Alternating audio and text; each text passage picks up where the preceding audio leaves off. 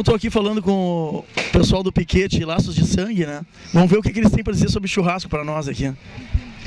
Bom, um bom churrasco leva tempo para fazer, tem ser preparado, com bastante calma, um fogo, uma lenha bem caprichada. Levar umas 4, 5 horas para assar um costelão inteiro e uma boa salada. Sim, mas estão me dizendo, estão inventando aqui no parque que tem um costelão 36 horas. Que história é essa?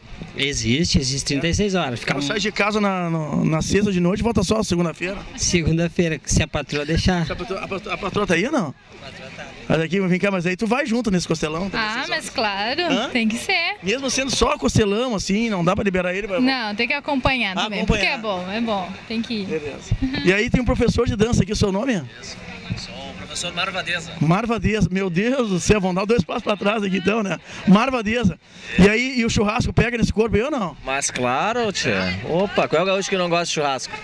Se não, se não gostar de churrasco, não é gaúcho. Isso aí. E que dica tu dá aí pro pessoal, pro internauta aí, sobre churrasco? A dica que eu dou é assim, ó, fazer o churrasco com tranquilidade, temperar bem a carne, fazer um bom fogo a lenha, de preferência assim com uma lenha de laranjeira, ou uma maricá, um, pode ser também uma lenha de ipê, uma cássia, né? Mas sempre a lenha, né? Sim. E assar com calma, né? Levar um tempo, que nem um colega falou aqui, assando, né? Nada de deixar muito perto do fogo, né? Manter uma distância. Então, é pelo que eu vejo aí, pelo, pelo que o pessoal fala, né? Das dicas, a paciência faz parte mesmo, então, do, do ritual do churrasco, né? Sem pressa, né? Exatamente como qualquer comida que a gente vai fazer, é um ritual, né? A gente tem que botar, assim, amor naquilo que está fazendo, né? Que a alimentação para os nossos filhos, nossos amigos, tem que ser bem feita, com carinho, com calma, que no final sempre dá certo.